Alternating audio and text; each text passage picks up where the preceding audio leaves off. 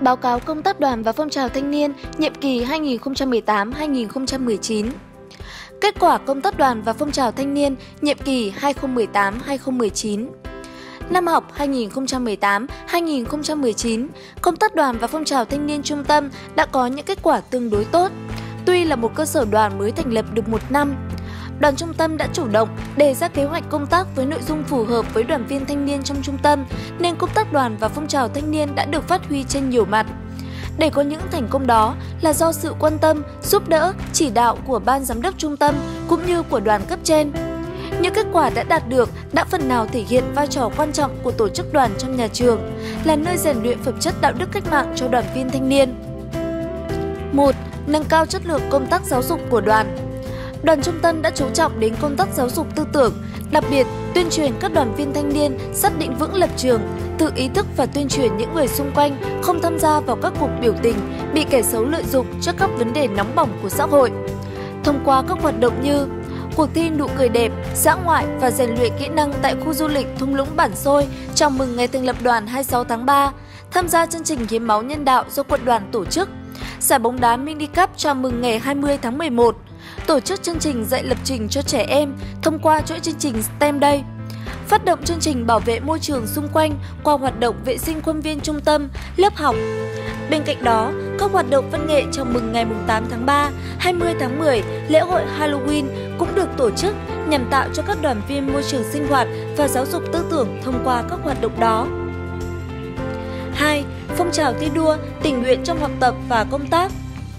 tổ chức tốt việc hỗ trợ đoàn thanh niên hoạt động thông qua các chương trình, hoạt động như talk sâu nói chuyện theo chủ đề công nghệ nhằm nâng cao, mở rộng kiến thức cho đoàn viên, tổ chức các chương trình học miễn phí về lập trình cho đoàn viên, tổ chức các lớp học phụ đạo, bổ trợ cho những đoàn viên thiếu hoặc yếu kiến thức hàng tuần,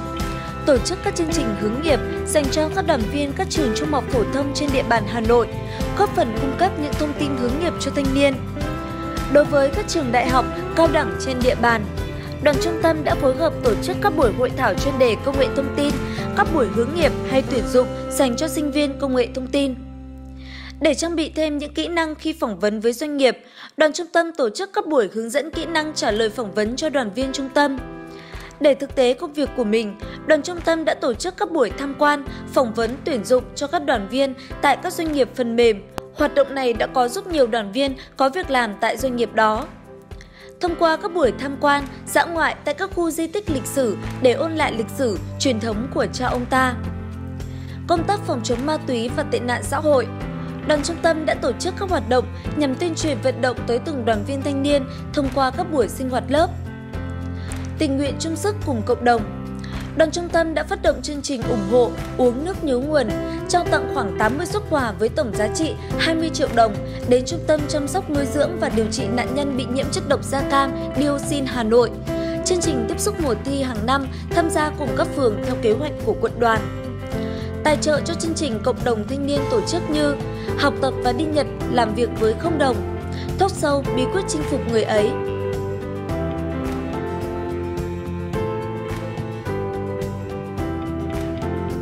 2. Phương hướng nhiệm vụ công tác đoàn và phong trào thanh niên nhiệm kỳ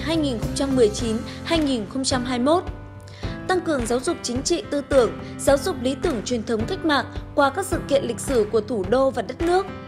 nâng cao chất lượng học tập, tổ chức các phong trào thi đua nhằm khuyến khích các đoàn viên phát huy tính chủ động, sáng tạo,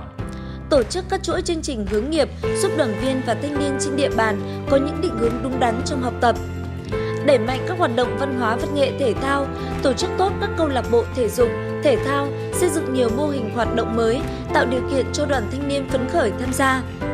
Xây dựng, củng cố đội ngũ cán bộ đoàn, phát huy vai trò đội thanh niên tình nguyện, chú trọng đổi mới các hoạt động sinh hoạt tri đoàn, các chương trình rèn luyện đoàn viên nhằm nâng cao chất lượng đoàn viên,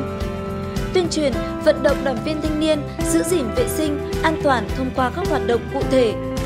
nâng cao nền nếp, kỷ cương của đoàn viên thanh niên khi đến trường. Các chỉ số phấn đấu 100% đoàn viên đạt hạnh kiểm khá, tốt 60% đoàn viên đạt khá giỏi trong học tập 80% chi đoàn xếp loại vững mạnh Trên đây là báo cáo tổng kết công tác đoàn và phong trào thanh niên đoàn Trung tâm Đào tạo Công nghệ Thông tin năm học 2018-2019 và phương hướng nhiệm vụ công tác đoàn phong trào thanh niên năm học 2019-2020. Rất mong nhận được sự quan tâm của Ban Giám đốc Trung tâm, đoàn cấp trên để công tác đoàn của Trung tâm Đào tạo Công nghệ Thông tin ngày càng vững mạnh.